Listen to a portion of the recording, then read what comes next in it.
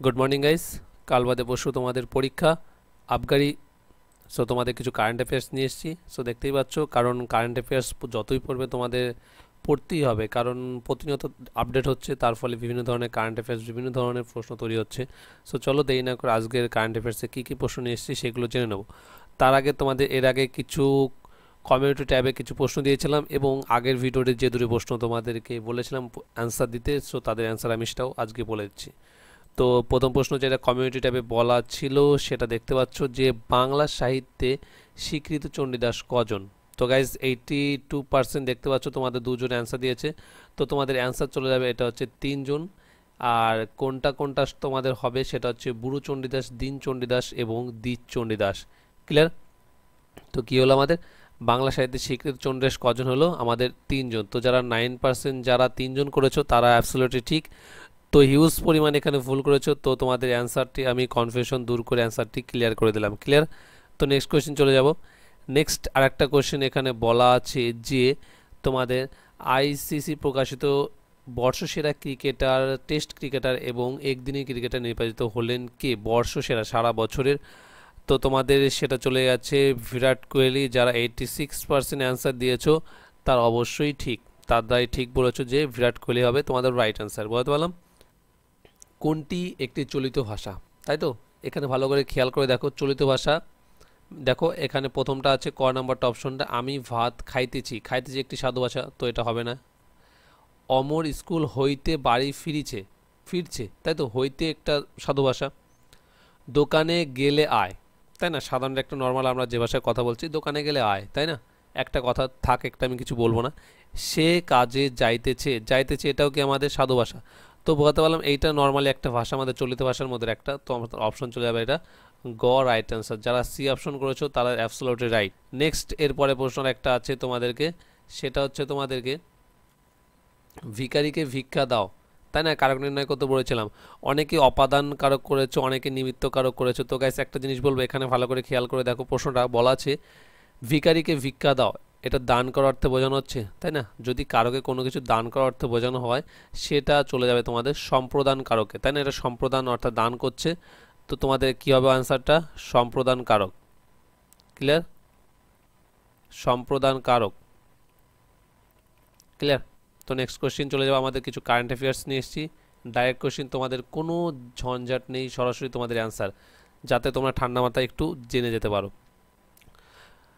নবীনতম রাজ্যের নাম কি ভারতে? সেটা হচ্ছে তেলেঙ্গানা। তেলেঙ্গানার হাইকোর্টের প্রথম বিচারপতি কে ছিলেন সেটা হচ্ছে টি ভি রাধাকৃষ্ণান বলতে পারলাম? এরপর আছে সংখ্যালঘু নাগরিক তত্ত্ব বিল কবে পাস হয় সেটা দু হাজার উনিশে। এরপর প্রশ্ন, দেখতে পাচ্ছ যে তোমাদের বলা আছে নেতাজি সুভাষচন্দ্র বোস, এখানে মিউজিয়াম হবে, ক্লিয়ার? তোমাদের এখানে হবে মিউজিয়াম কোথায় চালু হয়? সেটা হচ্ছে দিল্লি লাল কেল্লা কমপ্লেক্সে নেক্সট সেটে চলে যাবে আমাদের।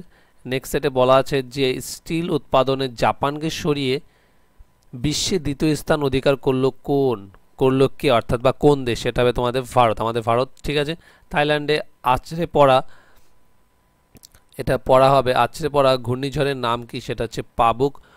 দু হাজার উনিশ সালে ভারতরত্ন প্রাপক হলেন তিনজন ব্যক্তি। তারা হচ্ছেন প্রণব মুখার্জি, নানাজি দেশমুখ এবং ভুবেন হাজারিকা। ঠিক আছে, এই চারজন ছিলেন। তো ভিডিওটি কেমন লাগল যদি ভালো লেগে থাকলে এবং চ্যানেলে যারা নতুন এসছো, অবশ্যই চ্যানেলটিকে তারা তোমরা নতুন করে সাবস্ক্রাইব করে রাখো এবং বেল আইকনে অল নোটিফিকেশনে ক্লিক করে রাখো প্রতিদিন মোর আপডেট পাওয়ার জন্য। তো নেক্সট সেটে চলে যাই আমরা।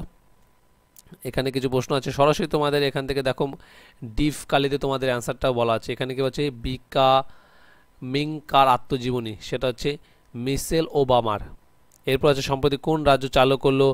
প্যাকিং বিমানবন্দর, সেটা হচ্ছে সিকিমে ছন্দা কোছার কোন ব্যাংকের সিও পদ থেকে সম্প্রতি ইস্তফা দিলেন, সেটা হচ্ছে আইসিআইসিআই নেক্সট কোশ্চিন এখানে বলা আছে পনেরোটি কেবলের দ্বারা যুক্ত সিগনেচার সেতু।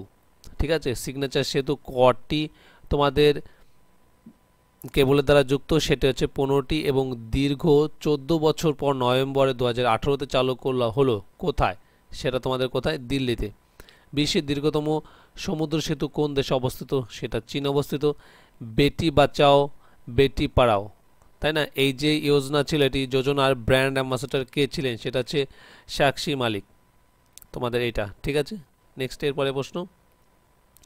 বর্তমান বিশ্বের সবচেয়ে ধনী ব্যক্তি জেফ বোজেস কোন প্রতিষ্ঠানের সাথে যুক্ত? সেটা হচ্ছে অ্যামাজন আমেরিকান রিলেট সংস্থা ওয়ালমার্ট সম্প্রতি কোন ই কমার্স সংস্থার সাথে সেভেন্টি সেভেন পার্সেন্ট অধিগ্রহণ করল? সেটা হচ্ছে ফ্লিপকার্ট গুজরাটের প্রাক্তন মুখ্যমন্ত্রী আনন্দীবেন প্যাটেল বর্তমানে কোন রাজ্যের রাজ্যপাল? সেটা হচ্ছে মধ্যপ্রদেশে। এশিয়ান গেমসে দু হাজার আঠেরো সোনাজয়ী নিজর নীরজ চোপড়া কোন বিভাগে পদক জিতলো? সেটা হচ্ছে জ্যাভলিন থ্রোতে। নেক্সট সেট পদ্মাবত সিনেমার পরিচালক কে সঞ্জয় লীলা বনসালি।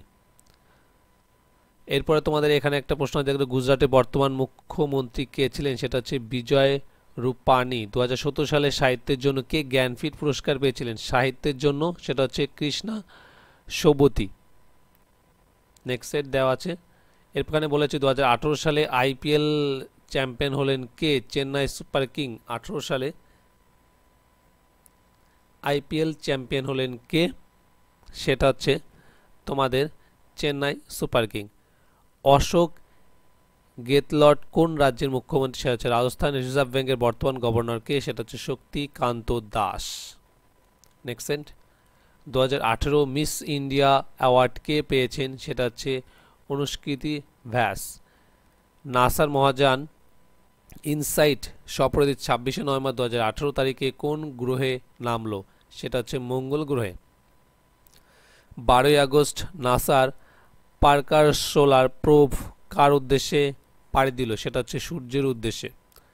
পারুপল্লী, কাশ্যপ কোন খেলার সাথে যুক্ত? সেটা হচ্ছে ব্যাডমিন্টন।